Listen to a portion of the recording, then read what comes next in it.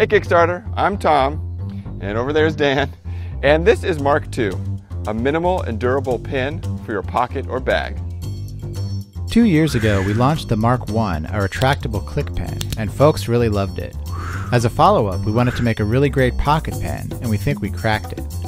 Mark II is a custom machined all metal pen that is small enough to take with you wherever you go, but its clever design extends to a full length pen when in use.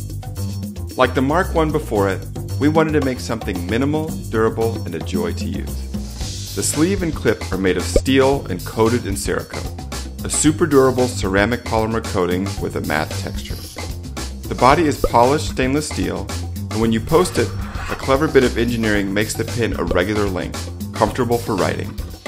When you're finished, the body fits back into the sleeve with a satisfying magnetic click.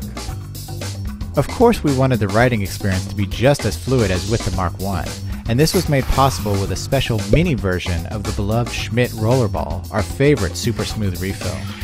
Mark II can also accommodate a Fisher pressurized refill, a fantastic ballpoint that is well regarded in the everyday carry community.